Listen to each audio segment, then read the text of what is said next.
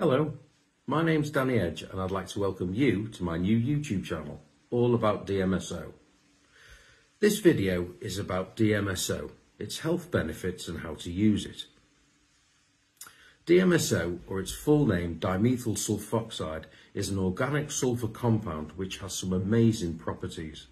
Pure DMSO is a clear liquid and it is mainly used diluted with distilled or deionized water as a topical anti-inflammatory compound for pain relief.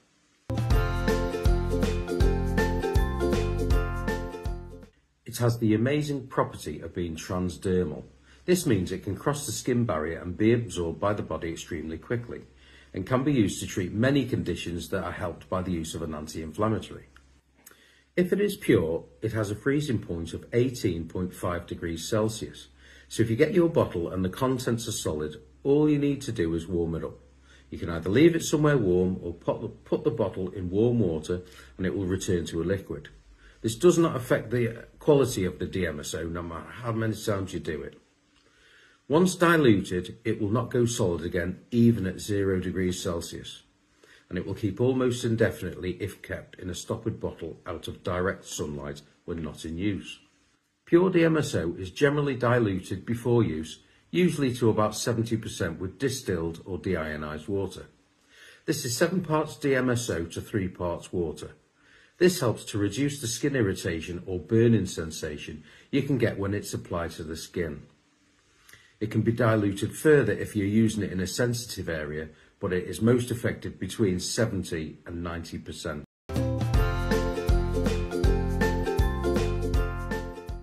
When using DMSO, cleanliness is very important because when DMSO is absorbed through the skin, it can take some other substances with it, such as dirt or ink. It is a powerful solvent, so you should not apply it with synthetic materials. Cotton is fine. If you're using the gel, you can apply it with your fingers, but please make sure your hands are clean first. When using DMSO topically, you may notice a garlic-like taste in your mouth and that your breath has a garlic-like smell. This is because the human body metabolizes DMSO to produce DMS, dimethyl sulfone and dimethyl sulfide, and it is the dimethyl sulfide that creates this side effect. I'm often asked if this can be prevented, but unfortunately, since dimethyl sulfide is considered to be the active ingredient, there seems to be little that can be done to reduce this.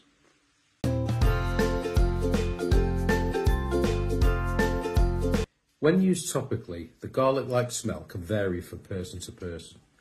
In some people, it's hardly noticed, while others can find it a real problem.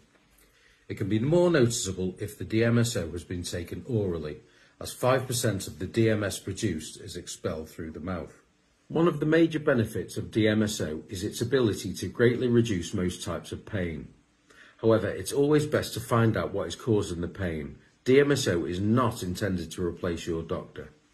If you have a persistent pain, there is a problem, even if the cause of that pain is not known. Once the source of the pain has been determined, DMSO can be used to full advantage to help alleviate the symptoms of that pain.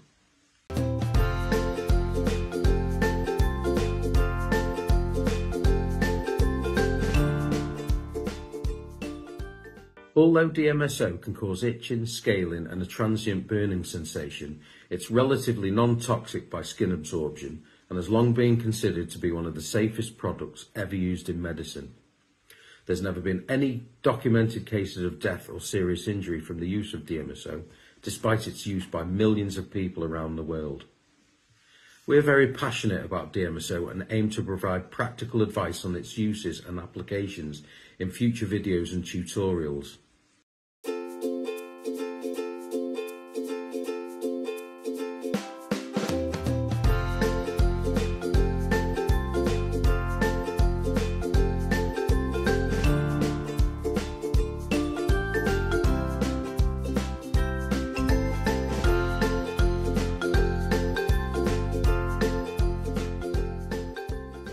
hope this video has been helpful and informative to you, and I hope that you'll check out our other videos as well.